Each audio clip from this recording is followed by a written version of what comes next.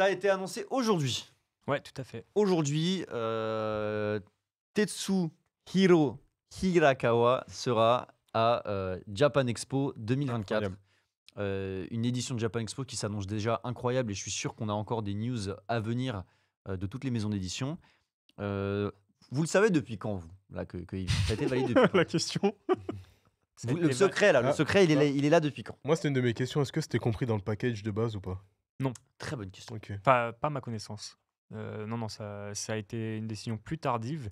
Euh, Il faut savoir que c'est toujours compliqué de faire venir un, un auteur japonais, hein, euh, notamment quelqu'un qui publie de façon hebdomadaire. Bah, il n'a pas le time, quoi. Et là, euh, il a, Mais- il a, je pense qu'il a, il a apprécié son retour euh, en Europe. Je pense, il n'a jamais euh, mis les pieds en, en France. Japan Expo, je pense que tous les éditeurs japonais sont au courant. Et donc, euh, on a fait la demande euh, courant de l'année 2024 pour qu'il qu'il puisse euh, se rendre disponible. Ah, Et Est-ce que le fait qu'il soit passé en... sur un magazine digital, bon, après il dessine en digital, ça facilite les choses, du coup?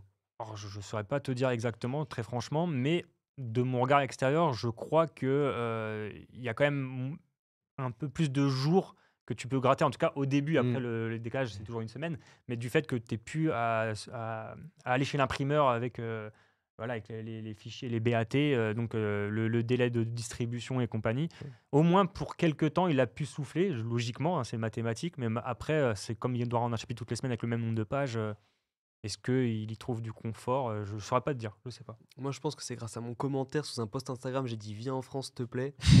ça, ça t'a mis Remercie-moi. Ouais, j'avais mis un truc Venez en France. Peut-être qu'il attendait que ça, quoi. Peut-être, hein. Il y, a- il y en a qui le disent euh, des fois. Enfin, c'était arrivé avec. euh, C'était quel auteur euh, chez, euh, chez Mangetsu qui a dit Moi, je veux venir en France? Euh, Rooster- C'est pas le Rooster Fight. s- soit Rooster Fighter, euh, Ito c'était déjà fait. Enfin, je sais euh, qu'ils avaient un auteur qui avait commenté de lui-même Moi, je veux venir en France, alors que c'était pas dans les projets. tu vois. euh, Ah, ça me dit quelque chose, je sais plus. Peut-être que le chat ils l'ont, mais ouais, ouais, effectivement, il y a un auteur. Ah, c'est pas. euh, Go- Non, j'allais dire Golden Gate. Non, c'est peut-être pas lui. Non. Non, pas Oda. C'est- mais moi, par contre, cette annonce, euh, honnêtement, elle nous a pris à contre-pied parce que avec Yo, la question qu'on se posait, c'est Ok, c'est vos 20 ans. Vous annoncez un titre pour le mois de juin. Ce qui fait que, bah, en fait, ce sera pas la nouveauté du mois de juillet. Parce que généralement, on sait que euh, là où il y a les plus grosses sorties de l'année, c'est le mois de juillet parce qu'il y a Japan Expo. Donc, on a tous les gros shonen et tous les gros titres qui, qui arrivent. Et donc, du coup, on s'est dit, bon, bah, s'il sort au mois de juin, nous, on avait peur que ça fasse un peu l'effet soufflet, c'est-à-dire, ah bon, bah, à Japan Expo, il n'y aura plus rien, et en fait, euh, Ninepix euh, va passer sous les radars à côté de toutes Ouais. les grosses licences. Et au final, en fait, oh, pardon, excuse-moi pour le Star Wars, euh, euh, du coup, le, le fait que l'auteur vienne, bah, je trouve qu'en fait, ça rajoute vraiment du cachet à, à ce- à cette sortie parce qu'on arrive un mois après Japan Expo. En fait, on avait regardé le planning des sorties de Kiun et on regardait que ce qui était possible d'avoir à la Japan, tu vois. Et, et en fait, on, on trouvait pas parce que il y a- a- justement, il n'y a pas de sortie en mode le jour de la Japan qui est annoncé. C'est soit un peu avant, soit un peu après. Et, euh, et du coup, on avait fouillé et puis on s'était dit, bah non, ça peut pas être ça parce qu'un mois avant, Ouais. tu vois, il risque Oui, de louper le c'est truc. vrai que pour DRCL en janvier, ça collait avec la Mm. sortie du manga en librairie. Mais c'est pas une règle d'or. Et puis, euh, pour Ouais. une raison très simple, c'est qu'il y a des tas de choses qui peuvent se passer qui font qu'un auteur ne puisse pas venir. Mm. Sa série s'arrête au Japon. euh, il doit. euh, il est malade. Euh, il y a un flemme. problème, il y a le Covid. Donc, on peut pas Sa prévoir. femme trop- refuse aussi. Ouais, non, mais, non, mais il y, a- il y a les gamins, il y a des, des tas de trucs en fait. Donc, euh, on peut pas prévoir toujours un an à l'avance Mm. que, avec certitude que que quelqu'un soit, soit là. T'avais dit que le tome 2, il allait sortir quand? Euh, En- fin, fin- le fin août, 29. Exactement. Fin août? 29. Donc voilà, voilà, encore une fois, bravo au marketing. Juin, on sort le tome. Juillet, on fait un rappel avec euh, l'auteur à Japan Expo. Août, on sort le tome 2.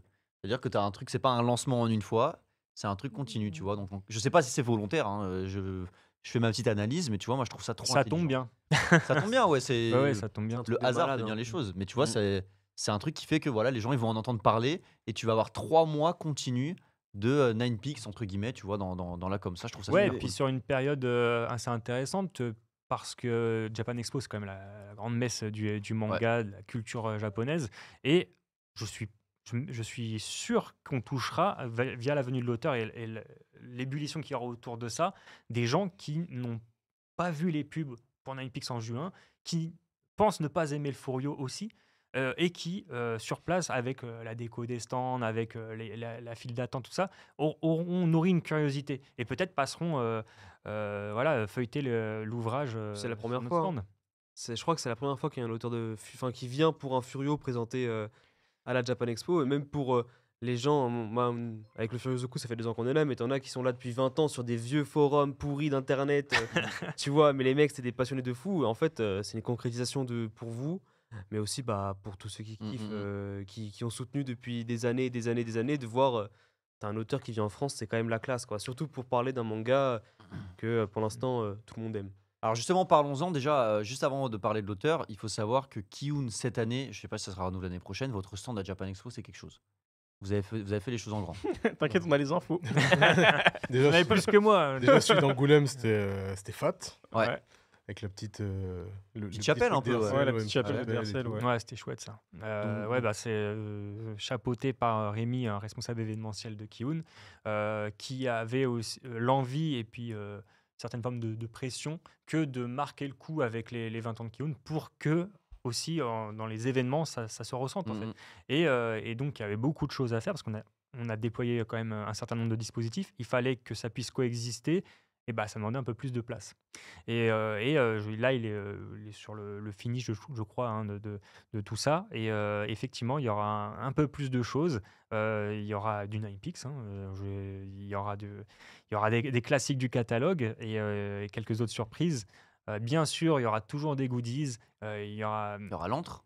il y aura- Non. l'entre- Enfin, il y aura des activités de l'antre, non? Qui seront sur le. En général, c'est pas tout à fait les mêmes. Euh, et euh, et c'est ça qui est cool, c'est qu'on est dans une entreprise où on arrive à faire des choses différentes entre les types d'événements, entre l'Entre Kiun, qui est notre pop-up store euh, qui a déjà eu lieu cette année, en- entre les, les tournées dans les librairies et euh, les gros salons du type Japan Expo. C'est Ouais. ouf toutes les idées que vous avez. Je- J'essaie de m'imaginer comment tout ça peut sortir et essayer de se renouveler, c'est toujours la chose la plus difficile euh, sans, sans s'essouffler ou sans que les gens se disent ah bah il y avait ça la dernière fois. Euh, bon finalement c'est pas. Franchement bravo hein. Stylé. Du coup, parlons de, en parlant du stand, parlons de, de l'auteur qui va dédicacer sur le stand. Je précise, c'est pas Japan Expo qui organise les dédicaces, c'est Kiun, et Voilà. donc ça se fera sur le stand euh, des éditions euh, Kiun, le, le maxi stand. Euh, et du coup, euh, tu me coupes si je me trompe, mais euh, voilà, j'ai un peu d'infos sur la manière dont se déroulaient euh, toutes les activités avec l'auteur à Japan Expo. Et dans le chat, si vous avez des questions et que je c'est des choses que j'ai pas encore dit, bah, je pourrais pas y répondre puisque j'ai pas plus d'infos. Il y aura deux systèmes pour avoir une interaction avec l'auteur. Première, euh, première manière, c'est euh, un dessin. Un dessin qui sera fait via un tirage au sort au préalable fait sur les réseaux sociaux. Donc c'est-à-dire que ne vous battez pas à Japan Expo, pas de bousculade, pas besoin de s'énerver, tout est fait au préalable. Et il y aura 20 personnes qui pourront avoir un dessin le samedi après-midi, 20 personnes qui pourront avoir un dessin le dimanche après-midi, donc 40 au total. C'est pour ça que tout à l'heure on disait que le vainqueur euh, sur la borne euh, d'arcade du Kiun Summer Tour sera le 41e et la place est très chère. Ça, c'est la première chose. Deuxième chose qu'on pourra faire, c'est euh, tout simplement une signature, si je ne me trompe pas. Ou alors c'est peut-être un dessin super simple, je ne sais plus, mais au moins une signature. Signature a priori, ouais. Euh, et ça, il y aura 60 personnes par jour, du vendredi au dimanche. Donc ça fait 60 x 4, Chris? Euh, je sais plus. Ça fait 240. 240. 300, t'as dit? Non, 3. Vendredi, samedi, dimanche. Pas x4. Hey Non si faut. Non oui. Donc c'est pas jeudi, j'ai marqué vendredi. Non, il m'a pas Non. dit jeudi, je crois. Ah il y a C'est pas jeudi jeudi aussi? Ah. Il y a peut-être jeudi. Moi, on va dire vendredi, comme ça on est sûr de pas se tromper. Vendredi, Donc, euh, ouais, donc oui. finalement, euh, Ouais. t'as as raison. Donc euh, combien? doute. 240 180, 180. Merci. Euh, ensuite, il y aura une conférence spéciale qui sera animée sur une scène de Japan Expo avec l'auteur, Senyuzu. Il me semble. Ouais c'est Senyuzu ouais ça a été C'est la grande ouais. scène qui fait du bruit là. Ouais là où il y avait Yoshiki l'année dernière. Ouais, Exactement. on était à côté, il nous cassait les oreilles. euh, je me souviens. Euh, parenthèse, au niveau de tout ce qui est dédicace, donc euh, il y aura Japan Expo comme on l'a dit. Il y aura aussi, sûrement, il y aura à un moment, on ne donnera pas plus d'infos, des dédicaces en plus. Donc surtout, euh, faut être sur les réseaux de Kiyun parce que ça va être annoncé, ça va être très très vite. Il y aura des choses supplémentaires qui vont avoir lieu, donc voilà, restez, euh, restez connectés sur ça. Et qu'est-ce que j'avais d'autre? Qu'est-ce que j'avais d'autre? Ah oui, très très très important pour les dédicaces euh, à Japan Expo. Donc les dédicaces du vendredi au dimanche, peut-être le jeudi, vous verrez. De toute façon, toutes les infos elles sont sur le Twitter de, de, Kiyun. aucune obligation d'achat et ça, vous pouvez les remercier. Le but de Kiun, c'est pas de vous faire acheter des tomes, c'est de vous faire kiffer. Donc, vous n'aurez pas besoin d'acheter un tome à Japan Expo pour pouvoir Ah, avoir ouais. d'accord? Donc là, Ah, ça, je c'est dis, incroyable. vous ça. dites pas non, j'achète pas parce qu'on sait jamais, peut-être qu'à Japan Expo, je vais devoir acheter pour une dédicace et ça me fera deux tomes. Non, je dis bombardez. En plus, la première semaine, elle est super importante pour les ventes. Donc achetez et à Japan Expo, vous re-ramenez votre tome. Que Sauf vous avez si vous l'oubliez. Sauf si vous l'oubliez, vous rachetez, ou sauf si vous le prenez un deuxième. hein, Prenez un deuxième, c'est pas grave. Mais voilà, il n'y aura pas d'obligation. Et ça, vous pouvez les remercier parce que souvent, on oblige. Bon, bah, il y a des obligations financières à acheter un tome. Là, ce ne sera pas le cas. Euh, et euh, chose supplémentaire, c'est que sur euh, Kiun World, qui est une des activités de Kiun à Japan Expo, il y aura euh, des petites choses supplémentaires qu'on pourra gagner. On vous dit pas encore de quelle manière, mais il y aura des petits trucs en plus. Et là ça? aussi sans condition d'achat. et là aussi, sans condition Voilà, d'achat, ouais. on vous rince. Ça sera des jeux, des quiz, des trucs comme ça. Exactement. Voilà. ouais. Euh, Je voilà, donc- précise une chose sur les, les dédicaces dessins. Il faut aller à Japan Expo pour la récupérer. C'est pas un truc qui est envoyé par la poste euh, et genre de façon dénaturée. On est devant l'auteur qui fait euh, le dessin euh, pour soi. Là, tu parles des dédicaces dessins qui sont limitées à 20 par jour pendant deux jours, c'est ça? Exactement, et qui Ouais, sont euh, gagnés sur les réseaux sociaux. Si on sait qu'on est tiré au sort, on doit aller à Japan Expo. Ouais, ouais. et on vous, a priori, je crois qu'on vous file pas le billet pour Japan Expo. Donc Ah non. prévoyez votre coup avant de participer et soyez habillés, habitez pas trop trop loin. Non, mais c'est important de préciser. Et est-ce qu'ils ont le droit de ramener des cadeaux pour l'auteur? Ah bah ouais. Euh, Ouais. Je pense que je pense qu'ils sont très contents. hein. Euh, Il aura une équipe avec lui. hein. Ils vont regarder s'il n'y a pas de, de Julien, mais, euh, si tu nous écoutes, S'il y en a un qui a pu ramener des croquettes pour chien, te euh, jure. Sakamoto, je pense que ça devrait aller. Euh, Marshall Manga Zoku dans le chat, dommage que ce soit juste une signature en vrai. Alors écoute, déjà, il est là, tu vas pouvoir le voir et lui parler. Et peut-être que ce sera plus qu'une signature s'il est de bonne humeur, tu sais pas, tu vois. Euh, encore une fois, moi j'ai dit signature. Allez voir sur le Twitter de Kiun, vous aurez toutes les informations qui sont indiquées. Peut-être que j'ai oublié des choses. Euh, je pense pas m'être trompé, mais bon, on sait jamais. Allez voir, allez vous informer, comme ça vous avez vraiment tout. Euh, et ce sera très précis. Et d'ailleurs, allez voir tous les jours parce qu'il y a des infos qui arrivent en plus. Mm. Ok? Petite exclu, j'ai trop envie d'aller en toilette. Mais qu'est-ce qu'il nous raconte dans le chat? Obligation, aucune obligation d'achat, ça c'est ouf. Euh, c'est vrai. Mm.